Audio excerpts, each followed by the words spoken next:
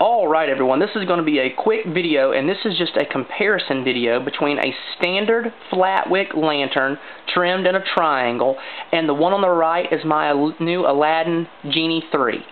Now I've run a couple tanks through both of them. I've had the one on the left for years, I've had the one on the right not so long, but I want to show you a comparison. They say that the Genie 3 or the Aladdin is about six of the lamps on the left I think it's even more.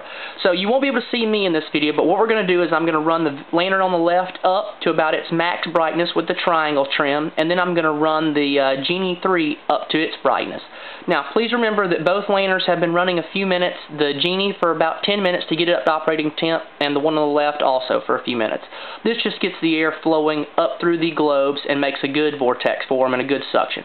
So here we go. I'm going to kill all the lights. It's, the camera's going to act funny, but here we go. Here goes the overhead, and here we go behind us. Alright, now as you can see, both lanterns are very dim. I'm going to start with the one on the left, and then I'm going to work the one on the right. You can see that I have the uh, Genie 3 glowing just a little bit, so the mantle's incandescing. So here we go. You won't be able to see me very well, but you may see me in the background. The one on the right is in a triangle trim, as I said. That's for fuel burn, it's supposed to give a more efficient flame. I prefer the, the flat trim. Alright, so here we go. I would turn it up, I've got it down below. And you would go just till you start to see your flame dance like that, and that's where it starts to smoke. So I'd come a hair down. And that's about the max brightness you're going to get out of that. So if you can see me, you probably can't. The camera acts funny. But this is just a good a good brightness. You could read by it, but it's very dim. It's a, uh, a very yellow light. The camera can't pick that up, but it's very yellow light. Um, now, the Aladdin, on the other hand, has an incandescent mantle. So I'm going to turn this one down, and then we're going to work our genie up. Here we go. I'm going to turn this one back down to below the, just below. This is what you would leave it on if you were leaving, just to let it glow. And I'm going to move it to the side. Now, on our genie, I've already had it running, but here we go. I'm going to turn this one up. I'm going to give it just a moment here to make sure it starts to get hot at about 20%. It's been running several minutes, just to make sure I don't make any black spots. And here we go. Let's turn her up. Here we go.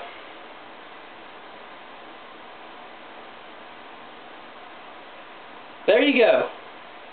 That's probably running about 80% brightness, but it will get brighter.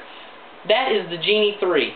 That's an Aladdin incandescent mantle oil lamp. I think it's at least 10 plus of these flat wick lanterns, and it is just a great lamp. Unbelievable. I'm going to look at the camera and see how that looks behind you. Here's my hand for a comparison. You probably can't see any of that. Here we are. I'm going to pick up this camera just so you can see that you can see around the room. I've got all the lights off. The camera can't even look right at it. I'm going to see if I can get it to focus in. There it goes. It's starting to dim a little bit. There you can see the top of the mantle. That's great. So here we go. I'm going to go back to this other little oil lamp I have sitting beside it. You can see it's still lit just to show you what it looks like up close on my trim. There we go. So in comparison, it's really not much of a comparison. The Aladdin wins unbelievably, and it's just a great lantern. A little bit more complicated to run, a more complicated lamp, but with a little bit of learning curve, you can run it to great potential. See, I even have this one a little too high. See the smoke coming out the top? It's just a hair too high. You need to go just to where your flame doesn't dance but the Aladdin dwarfs it by far. So if you have any questions about getting one, feel free to hit me up on YouTube. I'm really enjoying this lamp. A great thing to have around the house in case of power outages, and it does put out a great amount of heat out the top. Alright, y'all have a great one. Weston out. Thanks for watching.